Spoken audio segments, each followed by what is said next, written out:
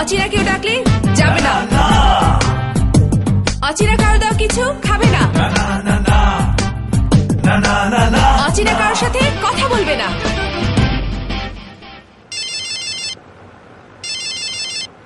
অচেনা নাম্বার থেকে আসা ফোন আপনার মতো ধরবেনই না। মির ওয়ান টু ওয়ান দিচ্ছে রিয়েল কলার আইডি। আপনজনের সাথে কথা বলুন, আপন পরিচয়।